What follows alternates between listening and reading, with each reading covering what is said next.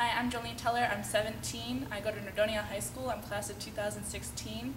My primary position is third base. My secondary is second base.